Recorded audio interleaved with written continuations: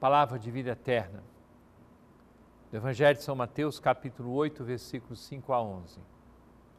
Naquele tempo, quando Jesus entrou em Cafarnaum, um oficial romano aproximou-se dele, suplicando: Senhor, o meu empregado está de cama lá em casa, sofrendo terrivelmente com uma paralisia. Jesus respondeu: Vou curá-lo. O oficial disse: Senhor, não sou digno de que entres em minha casa Dize uma só palavra e o meu empregado ficará curado. Pois eu também sou subordinado e tenho soldados debaixo de minhas ordens.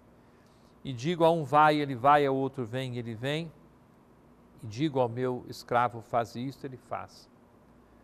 Quando ouviu isso, Jesus ficou admirado e disse aos que o seguiam: Em verdade vos digo, nunca encontrei em Israel alguém que tivesse tanta fé. Eu vos digo, Muitos virão do Oriente e do Ocidente, se sentarão à mesa no reino dos céus, junto com Abraão, Isaac e Jacó. Querido irmão, querida irmã, Jesus entrou em Cafarnaum, um oficial aproximou-se dele, Jesus queria ir à sua casa e o oficial acabou voltando apenas com a sua palavra.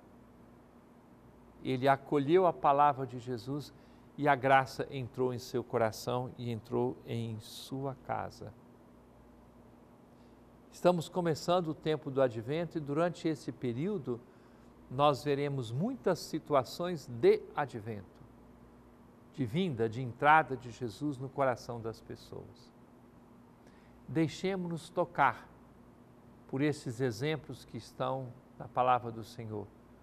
Deixemos-nos provocar seriamente por tudo aquilo que o Senhor, com toda certeza, quer realizar no coração de cada um de nós durante esse tempo precioso da graça de Deus, que é o advento.